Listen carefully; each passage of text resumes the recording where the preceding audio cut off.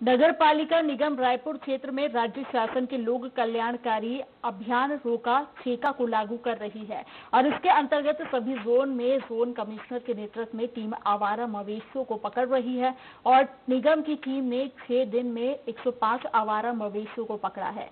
निगम उपायुक्त पुलक भट्टाचार्य ने बताया कि पहले की तुलना में अब जुर्माना चार गुना बढ़ा दिया गया है। अब पहली बार एक हज़ार, दूसरी बार पंद्रह सौ और तीसरी बार में मवेशी नीलामी की कार्रवाई की जाएगी।